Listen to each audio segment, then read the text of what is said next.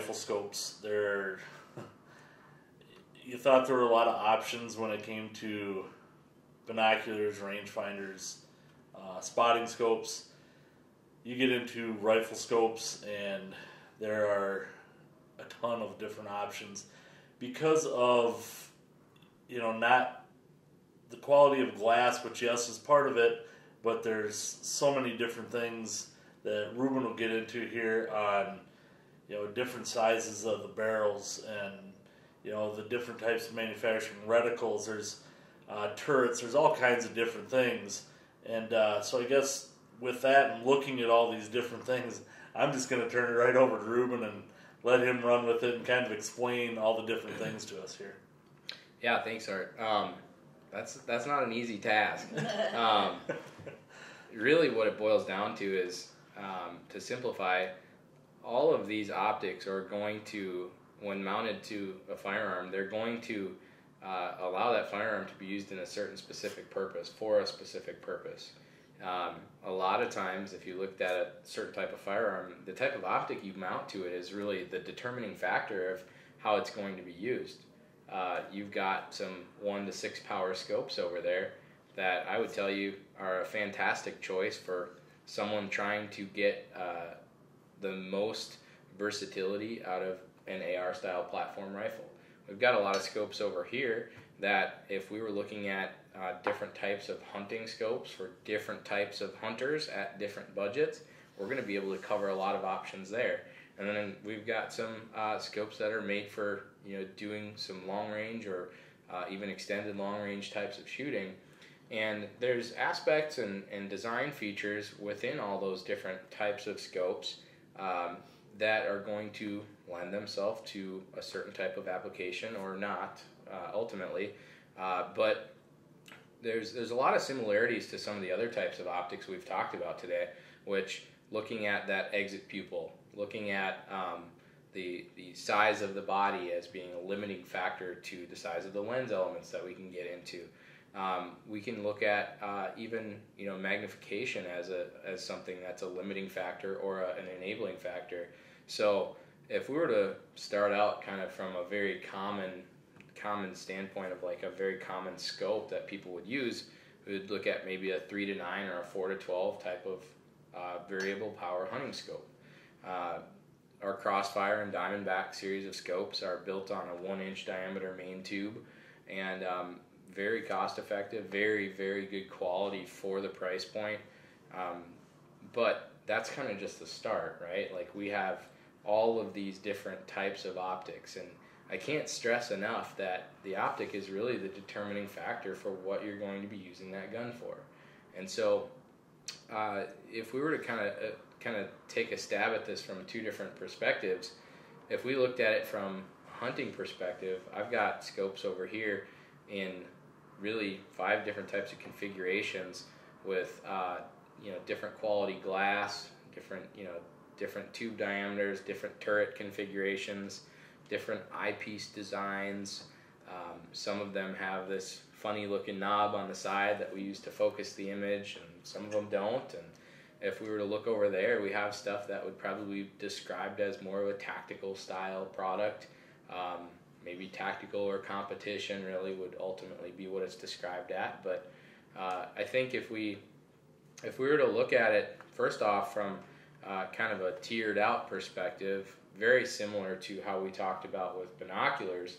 Uh, we have our Crossfire, which is our entry level price point optic. We have our Diamondback series, which is uh, still a non HD lens system, but we do have that's our bang for your buck optic. I mean, Diamondback is really where a lot of people fall in in terms of price point, and then also it's uh, it's giving a lot of people a lot of versatility if we stepped into our Viper, that's kind of where we go into our, our HD type of lens uh, systems, and then moving up to our Razor HDs, the the Light Hunter Razor is kind of the pinnacle of performance in terms of a hunting series scope.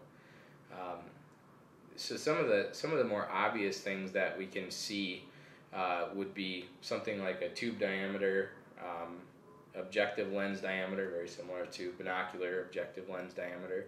Um, but if we looked at those things being kind of differentiating factors, um, First thing being tube diameter. Uh, if we looked at two rifle scopes and we looked at uh, our Diamondback 4 to 12 and we looked at our Viper HS 2.5 to 10, one of the first things that we're going to notice is that they look very similar, but one of the differentiating factors is going to be this tube diameter. This being a 30 millimeter tube uh, on the Viper HS, and on the Diamondback we have a 1 inch tube diameter. 1 inch is uh, approximately 25.4, uh, and so in terms of millimeters, um, so a 30 millimeter tube is going to be larger diameter than a 1 inch tube. Now, I think there's some, some things that people oftentimes think that going to a larger tube diameter can do for you. Probably have heard it, right? Uh, one of the number one things that we hear is that uh, a larger tube diameter is going to let in more light. And we already kind of determined what is going to let in more light, and that's uh, a larger objective mag- or objective diameter relative to your magnification, right?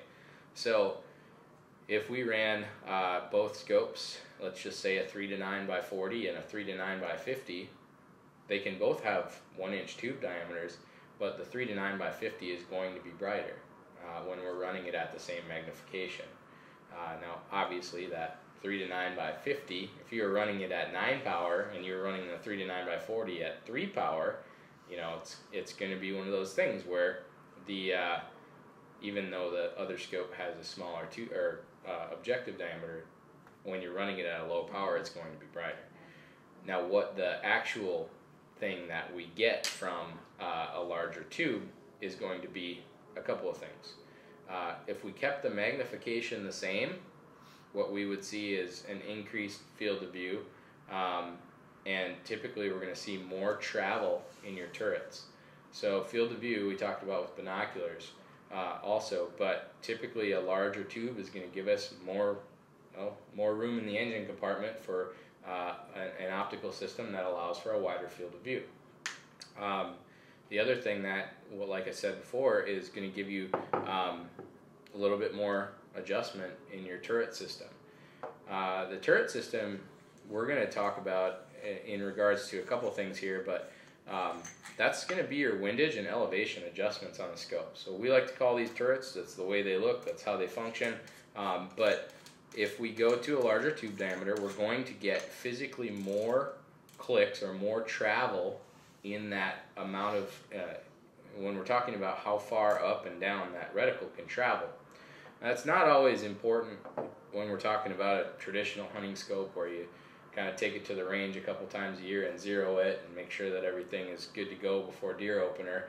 Um, where we see that travel being really important is in something like a scope that we're going to dial up and down all the time for taking longer shots uh, because ultimately we're re-zeroing our elevation every time we dial out a shot to longer distance, right? Um, so having more elevation adjustment uh, is going to give you the ability to dial that scope out to a further distance uh, relative to your caliber that you're shooting. One of the other things that having more elevation and windage travel is going to do is it's going to give, uh, it's going to add a level of forgiveness to, um, if you're using, uh, you know, we'll we'll use we won't use any brand names for example, but let's just say a mass-produced rifle that isn't um, being like uh, produced at an extremely high level of uh, precision. Uh, so what can happen is sometimes you can see a misalignment from your receiver to the barrel, and the bore is not always necessarily perfectly in line with the direction the receiver is pointing. So if every receiver was perfect, we wouldn't even have to have any adjustments because we would just mount a scope on it, and if the barrel was perfectly straight, the scope would already be sighted in.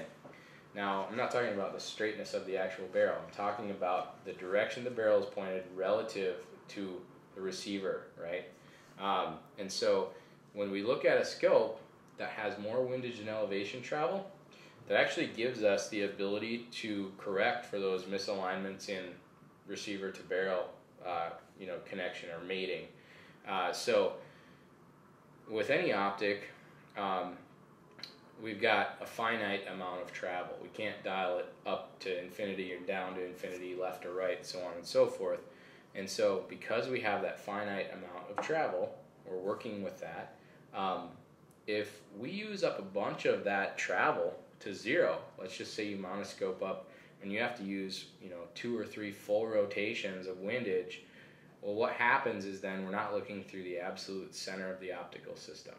And when we're not looking through the center of the optical system, we're not getting the best optical quality. So, resolution, clarity, low light performance, stuff like that. Uh, so, if we have more available travel in the turret system, there's a much higher chance that we're going to be able to zero that optic closer to the center of its travel. Um, and so that's kind of getting really into the weeds on why travel is important, but it's it's for a couple things. It's for the ability to dial out uh, precision scope to longer distance. It's also the ability to zero scope closer to the center of its travel. And if we have more travel, the center is a larger portion as a percentage. I think one of the uh, what I the question I hear the most at the trade shows um, regarding tube size is that um, you know well doesn't the larger tube isn't that better for the guns that have more recoil or more kick? Are they strong? Are they better? Are they going to hold up better? Does that have anything to do with? So it, what That. we can see actually, um, we could see a little bit thicker of a tube diam uh, tube thickness. So the wall thickness of the tube, right? So um, typically we don't see that as a direct like correlation to going to a bigger tube or a direct result to going to a bigger tube. Um, but you could you could hypothetically say that uh, a larger tube has it does have more bearing surface on the rings, uh, so there's more surface contact, surface area, and that scope is going to be less likely to slip in the rings, right? So if we had something with heavy recoil, um, you're increasing the surface area that the rings are clamping to. And so typically, I think that's something that people are referring to when they say that. You want a bigger tube diameter for the heavier recoiling rifles. I'm not sure that's always the, the, the path that is being followed in terms of why you want a bigger tube, but that's ultimately something that, yes, you are getting more surface area, more clamping area on the rings, which is going to have a reduced likelihood of that scope slipping under recoil. You know, and I guess some of the questions that I get a lot are we get a lot of the crossover, you know, because in our Viper line, there's, you know, your HS, your HSLR, um, HST, and they all stand for different things Yeah. as you get into things. And so they look at the turrets and they look at the parallax system. And they're like, well, what's parallax for? Why is it? Why is it even here? Yeah. Can you make it so we don't need the parallax? Can are, are there things that a place you can turn it to? Um, so I guess if you could explain the parallax just a little bit and how that really works, and then also with the turret, the biggest questions, and, and some of that might refer more to the long range stuff, um, but I do get it with some of the hunters.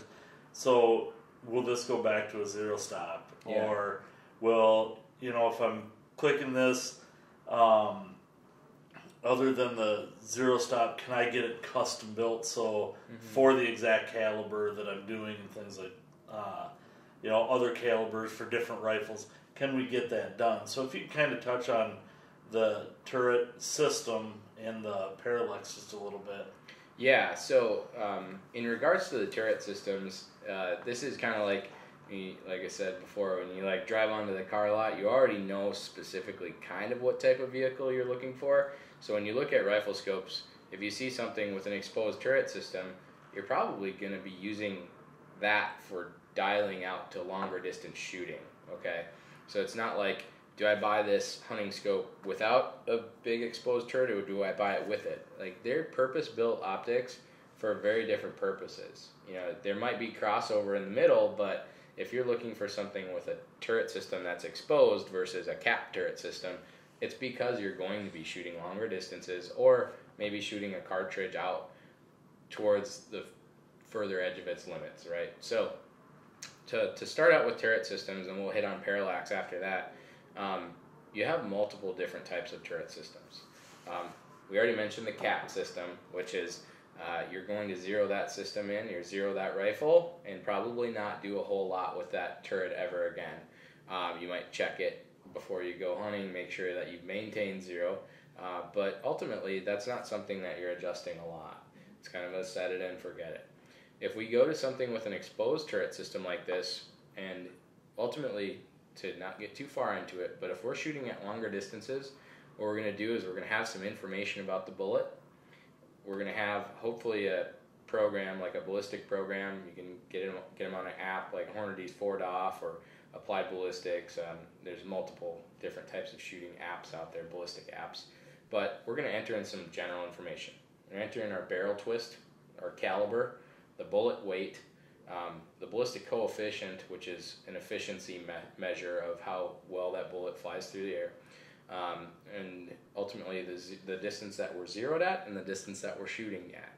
And that's going to give us uh, a number that we're going to dial our scope to or that we're going to hold on our reticle. Okay, so that's a, that's a crash course in long range shooting. But uh, a scope that has an exposed turret system is going to be one that we're able to reach up and dial that correction. We're shooting a 308 at 500 yards, and our ballistic calculator tells us to dial 12 and a half MOA of adjustment, we can do that right on that turret without having to take this cap off. We can always take the cap off of one of these scopes, but it's going to be a lot slower and it's not going to be nearly as um, intuitive as something that's designed for doing that, right? We don't, we, we don't put like street slicks on a Jeep, we put mud tires on a Jeep. So uh, if we have a scope that has a turret system, it's because we're shooting at longer distances and we're correcting for that drop at distance. Now we would look at a system like our Viper HSLR, that's our hunting series long range. Uh, that's a hunting scope. It's uh, you know very capable target shooting scope too, but primarily made for hunting at long distance. If we stepped into our um, Viper PST Gen 2, which is the second scope in that line, that scope has a mechanical zero stop that we can go in and reset uh, once we've got our scope zeroed at a certain distance. We can reset that zero stop so that every time we're done shooting at extended distance, we can dial down to the distance that we're zeroed at without having to go back and check that, right? The turret will physically stop turning when we're back at our 100 yard zero or 200 yard, whatever distance we're zeroed at. A zero stop is going to be uh, a mechanical or uh, can be like a shim system, like in our uh, Gen 1 PSTs or HSLRs, but it's going to be a mechanical device that prevents you from dialing your turret down too far. If you dial out to, let's say on that turret, you dial out to 28 MOA, and then you're thinking to yourself, did I dial 25 or 3, or like do I go one full rotation and then three under, right? Um, a zero stop is going to stop that turret when you're back on your zero distance. Um, Moving into like our Razor Generation 2 rifle scopes, that's actually a locking zero stop, which will have the ability to lock it. Um, if you pick that scope up and try and turn it right now, that turret will not turn unless you pull straight up on it to unlock it, at which point now you can adjust it. Then when you get your, your distance dialed in, you can relock it. Um, so there's, uh, there's complexity, there's added cost into something like that but ultimately the end user that needs it is willing to pay for it. So that kind of explains zero stops a little bit.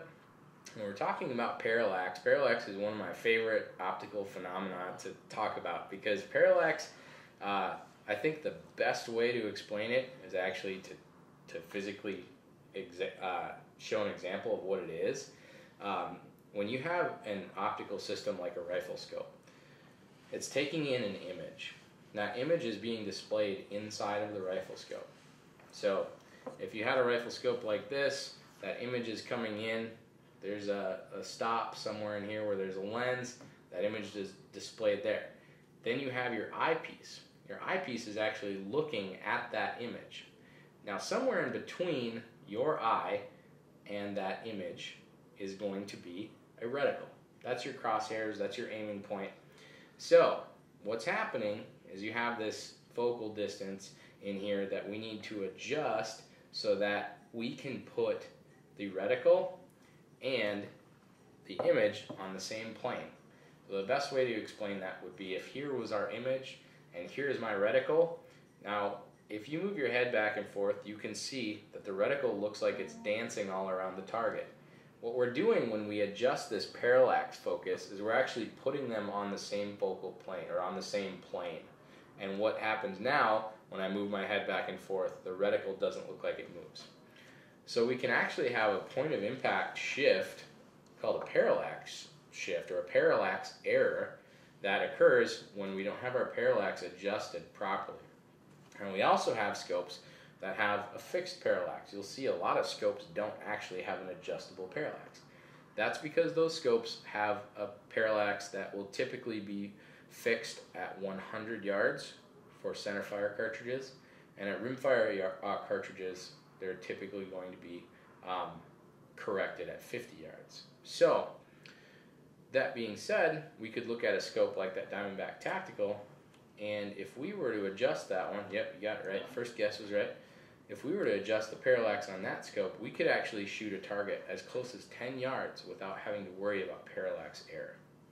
So parallax um, is something that you can have a guy who says the rifle is shooting terribly, shooting a big group like that at 200 yards, and we can go and look, and if he doesn't have his parallax adjusted properly, he could be experiencing a shift that's only due to parallax not being set properly. Is there a way to set that so Yeah. that they don't have to worry about it? So it goes back, and we'll, this is a great place to interject uh, rifle eyepiece focus or diopter focus on a rifle scope. Uh, reticle focus, some people will call it. We'll call it. We'll call it a diopter. So your eyepiece here uh, on a lot of rifle scopes is going to rotate. Now, same concept as with a binocular. We're setting this for our eye. It's going to be different for you as it is for you, as it is for me. Um, so when we set this diopter adjustment or eyepiece focus, reticle focus, whatever we want to say, we're setting it for a particular person's eye.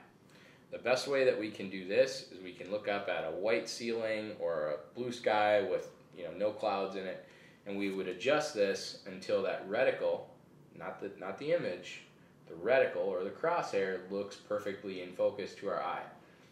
Your eye is tricky. Your eye is going to tell you that it looks in focus. So what you'll do is you'll look away every couple seconds while you're doing this process. You'll look away and look back through the optic, and you'll see, okay, it looks a little bit better. I'm going to adjust it.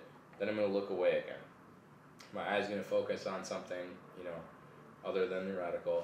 And then you look back through it again, and it's blurry. You just keep fine tuning that until you can look at something, let's say 50 yards away. Your eyes aren't necessarily uh, straining, and then you look back through, and the reticle's clear. Okay, now this is a long segue to setting your parallax focus because if you don't have your diopter set properly on your rifle scope, the parallax is not going to be adjustable properly either. So, the best way to do this is to um, set your diopter, your eyepiece focus, and then go to your parallax. You'll pick a target. You're going to have to try and keep your rifle very steady. You're going to look through it, but if you have sandbags or a shooting bag that you can prop the rifle up with or a bipod, um, aim that rifle at the target um, and adjust the parallax until you can move your head back and forth behind the optic and the reticle does not appear to be dancing. So you'll see it as you adjust, it'll dance less and less until it becomes perfectly. Um, uh, it'll be in focus and it'll also um, won't be moving. So that's how you adjust parallax. And you can't do it in scopes that don't have an adjustable parallax. But typically, we would use these on uh, a rifle that's dedicated, maybe not necessarily for target shooting, something that would be. Uh, uh, I should I should explain also parallax error within reason isn't necessarily going to be drastically uh, like it's not going to be drastic amounts. It could be a couple of inches. So if we thought you know about like a maybe a, a hunting scope, we're looking at the vital zone of the animal that we're hunting um, and saying that even if the reticle moved around an inch within that 10 inch vital zone, that's not really that big of a deal typically.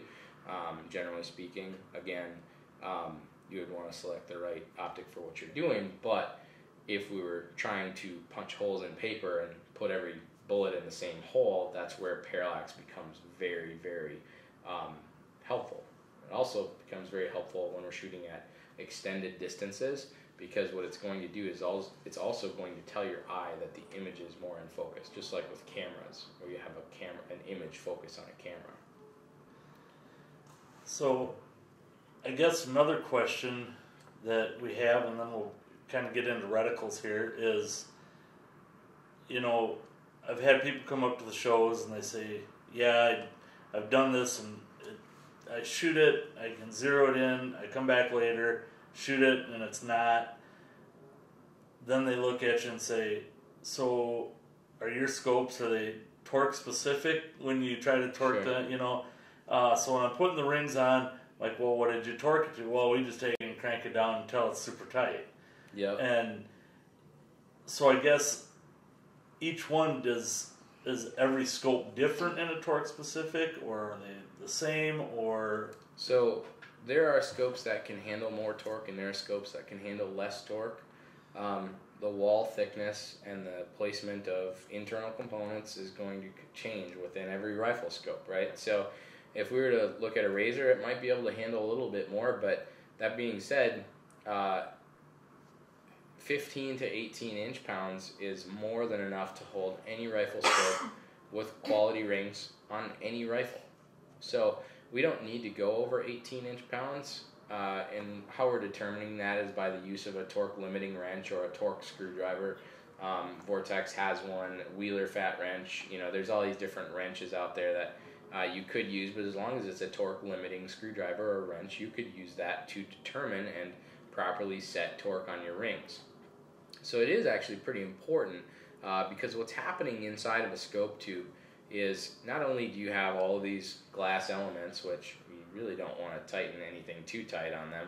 Uh, it's made out of glass, um, very durable, but still, nonetheless, we don't want to put more pressure than we should. The uh, the scope has what's called an erector system in it, and so what's happening when you take a rifle scope and you dial both windage and elevation, or vice versa, what's happening is there's there's this kind of ball and socket system. So you have uh, a gimbal inside here, and when you are adjusting your magnification or uh, when you're adjusting your elevation and windage, uh, what's happening is think of it a lot like your your shoulder. You have this ball and socket, and when you adjust up, you're letting that erector system move up, which is shifting the reticle over the image. When you dial down, you're pushing that reticle down. Same thing happens with windage. You're adjusting side to side. Now there's a spring, um, an erector spring in here that's pushing on that. It's creating a bias force on the erector assembly. So when you dial up and down, um, when you dial this way, counterclockwise, you're actually letting that spring push out. When you dial up, you're letting the spring push up.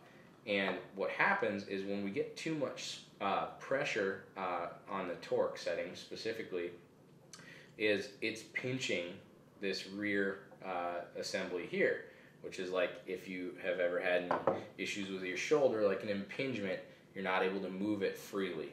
Okay. The other thing that you can have happen is if you put too much torque on your front ring, uh, and you ha- have a parallax adjustment, something like this, when you adjust this parallax setting, there's actually a, a lens cell that's moving in here. And if you have too much pressure on that front ring, now you can't get your parallax set properly because internally it's being bound up. Same thing happens back here. When you put too much pressure on this rear ring and you adjust your elevation and windage, you'll see it jump around because it's actually being crunched back here. So it's pivoting back here. And so when this is too tight, now your your erector assembly is not being able to move up and down and left to right freely. So that's kind of again a long explanation of how that works. But yeah, it is really important to use the proper torque setting. And uh, as important as it is to use the proper torque setting, it's important to use high quality mounts and rings. Cool. So let's kind of jump into, you know, your longer range. And I guess when we're talking about longer range, you know, you look at this and you touched on a little bit already on, you know, some of the turrets and some of the different things. I see some of these have lighted reticles in them. Yep. So when we get into the lighted reticles, let's talk about the different reticles from the hunting end all the way to the long range. Um, you know, first focal plane compared to a standard focal Sure. plane, and and just kind of touch on those and uh, run with that. Yeah, absolutely. Um, so if we were looking at um, a traditional hunting scope, we'll talk about. We'll start very elementary here. Uh, a crosshair reticle. you know, or a, a V-plex, something where it's got thicker outside stadia, uh, and then a, a, cross in the center where that's where your aiming point is. That's a very simple reticle. It's giving you one aiming point though. It's where those two hairs cross, right? Uh, hence the term. Um, when we look at something that can become more complex, you know, we have our dead hold BDC reticle. That's a ballistic drop compensation, uh, and that's what that BDC stands for. Uh, what that's doing is it's taking an, an, average of ballistics curve, an average ballistics curve of very popular hunting cartridges, and it's kind of predetermining some holds for different distances. Our dead hold BDC works extremely well with uh, real traditional hunting cartridges like a 270 Winchester, um, 30 6, 308, stuff like that. Uh, and what you would do is you would zero your, your rifle scope at 100 yards, and it's giving you holds for 2, 3, and 400 yards, or 2, 3, 4, and 500 yards. Um, if you were to look at uh, something that's maybe a more modern, more efficient cartridge like a 6.5 Creedmoor, um, you know 300 Win Mag, something where you're shooting higher velocity and a bullet that's maybe a little bit more efficient. Um, you would zero that system at 200 yards, and now you have holds out to 600. Now, um, in regards to reticles, there's there's a there's a ton of different reticles out there, right? Those are two very simple reticles. One being the the V-plex that only gives you very simple information. It's a it's a zero distance. That's where you're zeroed at the BDC is giving you additional information in that reticle. Not too technical, but it's to the point where uh, a hunter, whether it be a Midwest hunter or a Western hunter, you have now information in that scope that's giving you um, accurate holds for longer distance shooting. Um, kind of like we mentioned before with some of the more long range orientated scopes, you have like um, stuff with exposed turrets or um, you mentioned specifically reticles that are in different focal planes, right? So we have a traditional hunting scope. Uh, probably, probably like seventy to eighty percent of scopes out there are what we would call a second focal plane rifle scope. It's because the reticle is in the second focal plane of the scope. Scopes have multiple focal planes. Uh, if we were to look at something like uh, a competition or tactical scope, like the three that you have in front of you there, those are all uh, scopes that have the reticle placed the reticle is a physical thing. It's not, you know, it's you, know, you put some powder in the scope and shake it up. It's it's a it's etched on glass or it's made out of wire. So um, the reticle in a scope being placed in a first focal plane of the scope or front focal plane um, allows you to have a reticle that is consistent at all magnifications so that you could use that reticle for different information at any magnification. Now, probably thinking, well, what about second focal plane scopes? Well, if a second focal plane scope has multiple different types of information in it, like our BDC reticle, a second focal plane scope can only have those hold marks for different distances accurate at a specific magnification. And usually that's the highest magnification. The thought process there is that if you're shooting longer distances and you need that information to uh, hold for shots at different distances, then you're going to also need the magnification to see the target you're shooting. That's why usually second focal plane scopes, the reticle is calibrated at the highest power.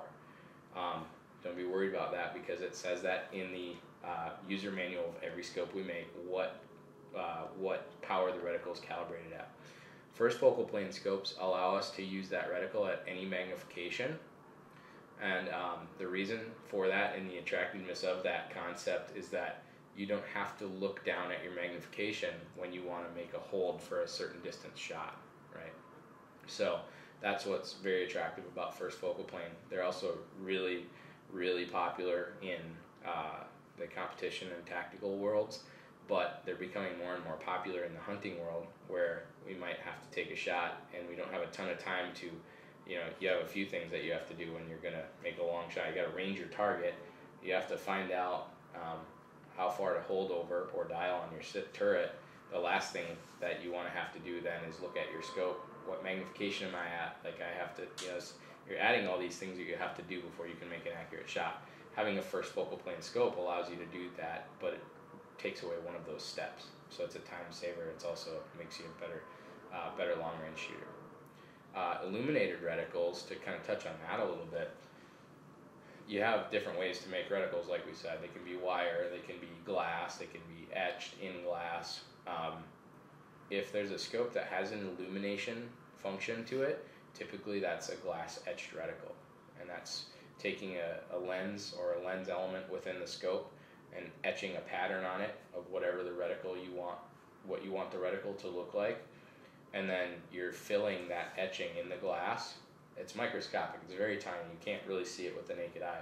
But um, you're filling that those etched surfaces. Think of little craters in the glass, um, little valleys. You're filling those with a reflective type of material.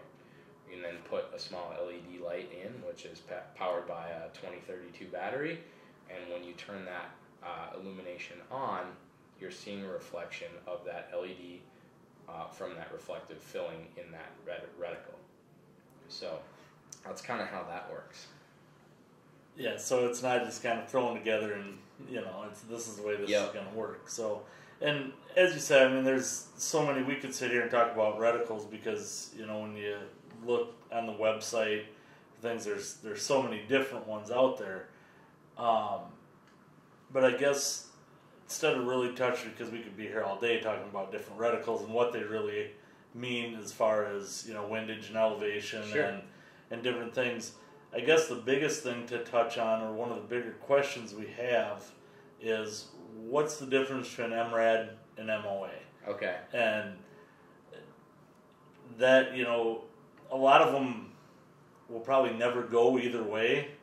They want a hunting scope, but they see that when they're looking through and they say, "Well, what's the big difference here?" Yeah, I don't know. I'm just kidding. um, when you have uh, you have two different systems of angular measurement. When we're talking about shooting, and uh, we'll kind of use long range shooting as an example, but when we're talking about compensating for a bullet's drop or the trajectory differences at different distances, like I said before, we'll typically use like a software program or an app to determine how much drop we have at different distances. And so, what we need to do is we need to measure that. Well, it's not a linear measurement, it's actually an angular measurement because we're measuring from this point to another point and we're actually measuring kind of that arc. And so we need to measure how far, as an angle, we need to uh, point the barrel up to compensate for that. So, because of that, we're actually using an angular system of measurement or one angular system of measurement. The first one that we're going to kind of cover quickly is the most popular one. That's what uh, most rifle scopes today, especially in the hunting world, are is their minute of angle system. So the, the minute of angle system is, without getting too far into detail, uh, it's a fractional system. So we're looking at typically at uh, quarter or eighth uh, increments to that. Um, so when you look at a scope and it says on the turret system, it'll say one click equals one quarter MOA at 100 yards, or some of them say one quarter inch at 100 yards. What that's really referring to is that uh, a quarter MOA adjustment is uh, very easy to measure because one MOA at 100 yards is roughly 1.047 inches, so roughly an inch, we'll just say that. So if we break that down, an MOA broken into four pieces at 100 yards is going to be each click is a quarter of an inch. That's traditionally what most rifle scopes that are designed for hunting are made for. Even if you don't know it, even if you look at the scope and it says one click equals one quarter inch at 100 yards, it's probably an MOA based scope. Minute of angle, okay? The next system is a milradian system. Now, without getting too far into that, the milradian system is a decimal based system. So it's a base 10 system. Um, it's not a metric system, it's a base 10 system. So for anybody out there that says, I don't shoot mils because I don't use the metric system, that's um, it's not lazy, it's just not true. Um, the mil system or MRAD is um, a base 10 system. So we're, we're now, instead of measuring quarter MOA, we're talking about one tenth of a mil. So if we looked at one MOA being roughly one inch at 100 yards, one mil or mil radian or MRAD, um, we'll say mil, at 100 yards is 3.6 inches. So if you looked at those two systems, um, a mil is 3.6 times larger as a linear measurement at 100 yards than an, than an MOA is. But because we're separating a mil into 10 parts and we're separating an MOA only into 4 parts, typically the mil system you're going to see one click on a scope if it was a tenth um, would be about 0.36, 3.6 divided by 10 versus uh, an MOA being 0.25, quarter MOA. So they're not all that different. What the best thing that I can explain it would be um, if you buy a mil scope, you're going to tell your scope, uh, your your uh, ballistic app that your scope is a mil scope. And uh, if you buy an MOA scope, you're also going to tell your app that it's an MOA scope. And so what it boils down to is, and I always like to use this analogy because it works for me. If um, you're driving down the road, you don't need to convert miles per hour into feet per second into inches per minute. Like you don't need to do that. Your speedometer says miles per hour. So you match that with what the road sign says. So just like when I'm on my app and I'm looking at, um, you know, and, and I guess the best the way the reason I explain that is uh, because you'll see a lot of times people will see a target and they'll range it and then they'll get their um, we'll call it dope their data on previous engagement and then they'll try and figure out how many inches of drop 10 MOA is. It doesn't matter. Your scope says MOA right here and your ballistic data program, your app, says MOA in there. So we don't inches don't matter anymore. We're talking in angular measurement. And so it doesn't matter to me if the road signs are in kilometers per hour as long as my speedometer is in kilometers per hour. So there's kind of this, um, there's a big movement within the competition and tactical worlds right now that uh, are kind of switching over to milliradians, uh, MRAD.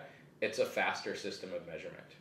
It's just like if there was a stop sign 100 yards away and I gave you uh, a ruler that was one foot long and I give you a yardstick that was 36 inches long, you would be done significantly faster than he was because he's going to have to measure three times for every time you measure once.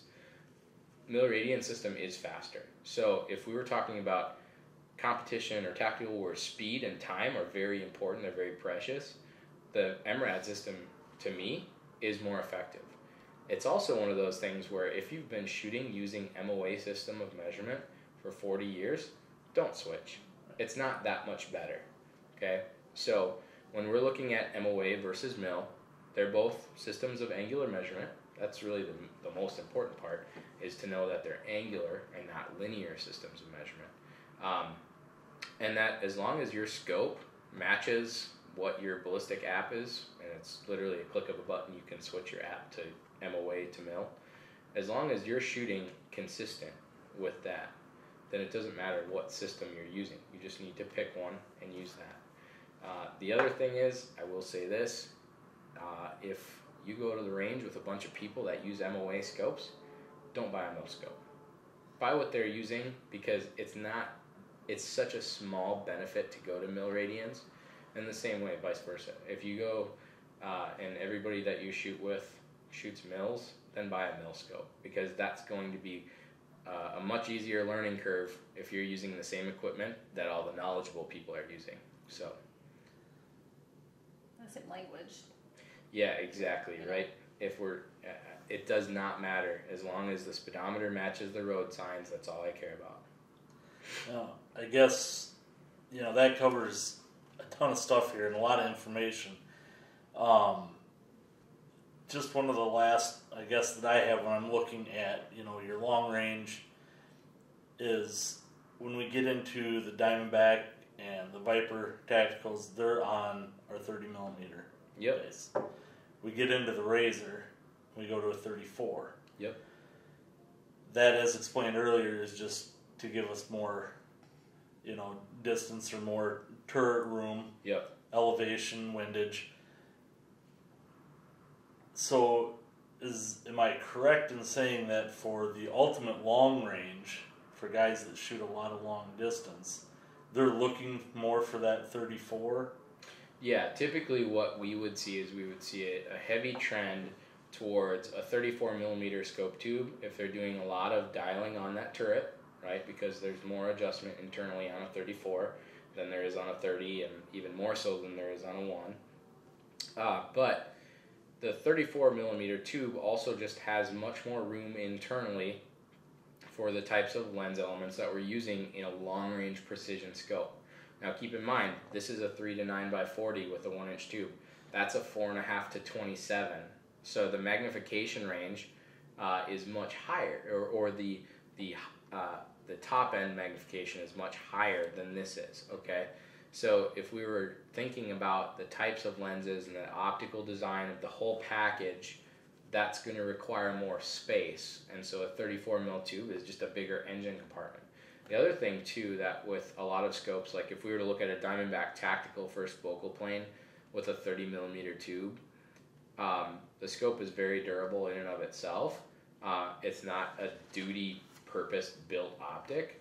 If we looked at a Razor Gen 2, that optic is absolutely made to be bombproof. And so there are um, some durability features built into that scope that make it physically larger. So it's not just going to always be one thing, right? There's there's going to be multiple op, uh, multiple things that make a scope bigger, heavier, you know, shorter, lighter, um, illumination, you know, the parallax adjustment, the locking turret system instead of having, you know, uh, a mechanical zero stop or a, a locking mechanical zero stop versus just a zero stop, right? So there's a bunch of stuff that really goes into why a scope is the size that it is or the weight that it is. Um, and a lot of times that you know means increased durability, means increased performance at long distance.